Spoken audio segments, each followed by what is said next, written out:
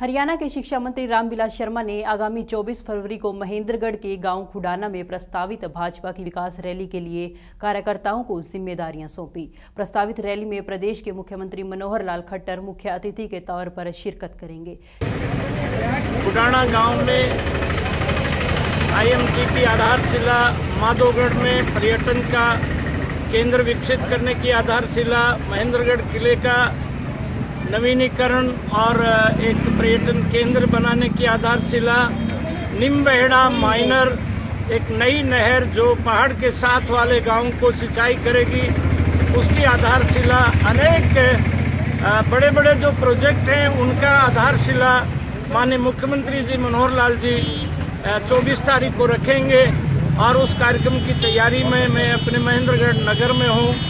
और आज भाई घनश्याम जी ने एक नई दुकान का उद्घाटन किया है।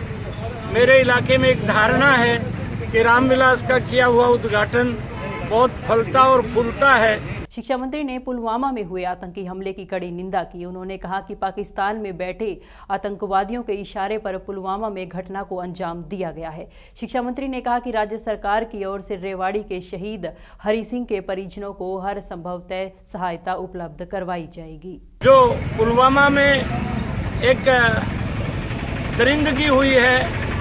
इकतालीस जवान हिंदुस्तान के शहीद हुए हैं। पूरे हिंदुस्तान के 130 करोड़ लोगों की आँखों से आँसू भी टपक रहे हैं और खून के आँसू टपक रहे हैं।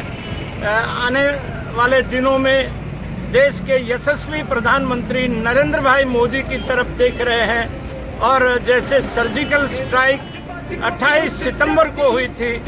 इस बार पाकिस्तान की खैर नहीं। ऐसा लोग अनुमान लगा रहे हैं।